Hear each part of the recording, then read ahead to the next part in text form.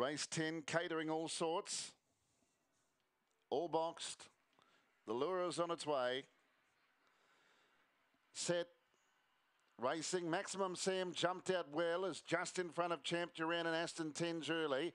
And then came Zipping Winslet from Consumption and Zipping Dudley.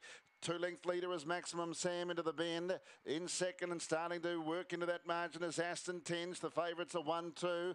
Look to have it between them. They're well out in front of Champ Duran. In the straight, though, Aston Tenge went through. Maximum uh, Sam went wide. Aston Tenge is drawing away, and Aston Tenge won it nicely from Maximum Sam. Third is going to be close. It was a really good go in the end with Champ Duran on the inside, the fast finishing Zipping Dudley, and then Consumption and uh, Zipping Winslet. 25.47 the time.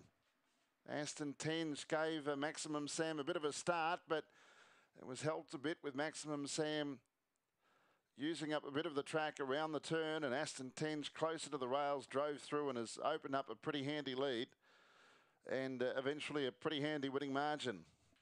And they drew right away from everything else. The two favourites looked to be the only two in the race turning for home and taking the shortcut through, even though it started from the outside box, was to the uh, advantage.